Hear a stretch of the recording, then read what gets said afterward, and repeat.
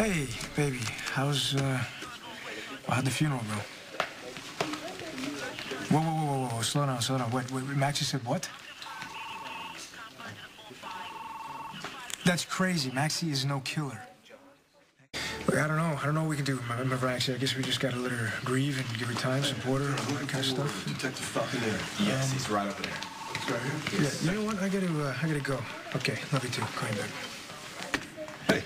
Hey, can I, uh, help you? Yeah, I'm John McBain with the Llanview, Pennsylvania Police Department. Uh-huh. I'm here to talk about Sonny Corinthos. Bain. Oh, yeah, McBain, you uh, arrested the grieving grandfather at the courthouse when he threatened to kill Sonny Corinthos. Manning jumped bail in Llanview. What'd he do? Murder. Oh, that's good. I'm glad you got him then, because it saves him from committing another one. Forget about it. Manning We'll get what he deserves. What about Corinthos?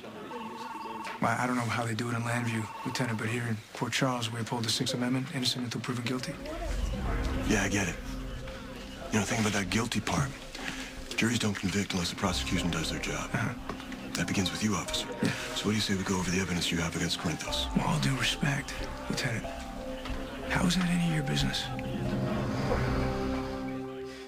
Hey, you know, it becomes my business when the victims were from my jurisdiction.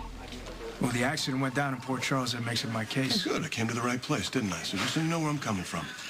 The kid that was killed, Cole Thornhart, he was close to me. It was a time he was like my son. Well, then maybe you can help clear up a discrepancy because Cole Thornhart was supposed to be dead, shot to death in Llanview. How did he wind up on a stretch of Highway 115? I don't know. I don't care. It doesn't change the fact that Cole and his daughter were apparent victims of a mob hit gone wrong. Look, I'm sorry for your loss. But that's all the more reason for you to turn around and go home because your personal feelings are going to cloud this investigation. And Corinthos being your father won't. You've been uh, reading the papers. Yeah, you know, I was trying to catch a flyer score. I like to be current. Well, you know, reporters don't really dig very deep. Because if they did, they'd find out that uh, Sonny didn't raise me. I just found out Sonny and I were related two years ago. You know, they uh, they tell me you went undercover in the Corinthos organization. That was very brave of you. But you didn't count on that slug to the chest. No, I didn't count on that slug to the chest. Now tell me something.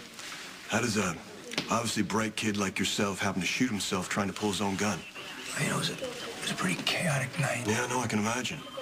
But you were sure enough about it to testify about it in court twice. I thought you were here about a car wreck. Life's a car wreck. I look at everything. You know, you seem pretty fascinated with Sonny Corinthos. You had a history there. I'm not fascinated. But there's a history. How does a cop from Pennsylvania get involved with Sonny Corinthos? Wasn't always a cop from Pennsylvania. I used to be with the Bureau. Used to be. The time your daddy was a two-bit hood running money through Atlantic City. You know, that's all great, but I don't see what your previous dealings with Sonny have to do with this case. Well, I'd address that, but I don't think she should even be on this case. Well, it's not up to you, Lieutenant No, Bain. it isn't, but it's a pretty blatant conflict of interest, don't you think, officer? No, I think I, I'm doing pretty good. I found the gun. I arrested Sonny. I made a statement at the arraignment. Uh, everything by the book. By the book? Never, never trust the book. How many loopholes did you leave, huh? How much room for Corinthos lawyers to get him acquittal? Making a lot of assumptions, Lieutenant. I hate it when I do that. Here's what I do know. Cole went through hell to make it back to his family. He wanted to raise his daughter, not die with her. Well, here's what I know. I was at the accident site. My brother almost died trying to save Cole and his daughter. Good, then maybe I should be talking to your brother. Actually, my brother doesn't have to talk to you. You know, neither do I. So why don't you turn around and go home? Then I'll go back to work. Hmm. Go home. Yeah. No, I think I'm gonna stick around.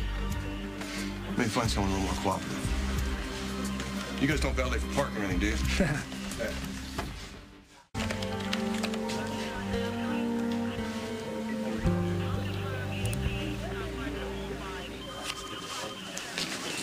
Come on, let's go. We can use the interrogation. Whoa, whoa, Mac, what's going on? Spinelli, what's going on? Uh, Maxie insisted on being arrested.